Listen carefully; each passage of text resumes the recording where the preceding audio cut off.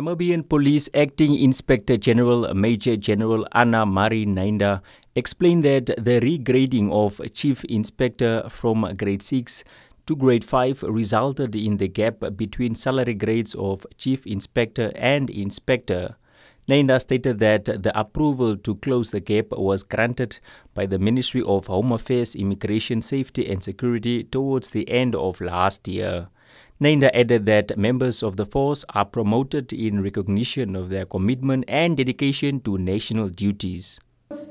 The end of last year, 2022, the Honorable Minister of Home Affairs, Immigration, Safety and Security directed the Inspector General of the Namibian Police Force and management to work on the structure and other modalities to ensure the closing of the aforesaid gap.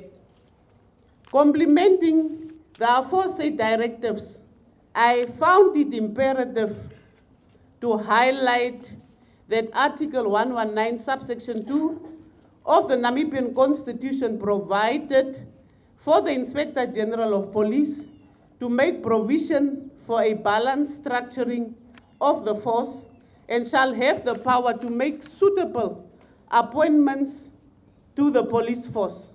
The Namibian police force commenced working on the amendments of the force structure as well as other modalities thereto towards the beginning of this calendar year 2023.